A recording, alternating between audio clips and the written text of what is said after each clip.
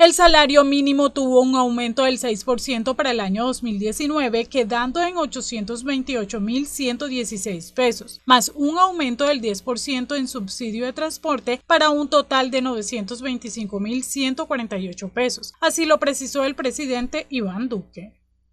Que el aumento del salario mínimo será del 6% y tendremos el aumento real del salario mínimo más significativo de los últimos 25 años. De igual manera, el aumento que tendremos en el auxilio de transporte será del 10%, el aumento más importante en 14 años.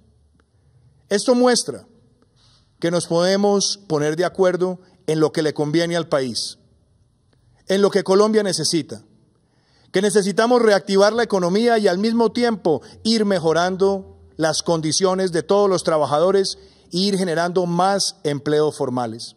Se pactó un acuerdo entre el Gobierno y la Confederación General del Trabajo para establecer una mesa de diálogo y concertación para buscar una reducción del aporte a salud del 12 al 4%. Por su parte, los sindicatos no estuvieron de acuerdo con el alza del salario porque consideran que no es sustancial.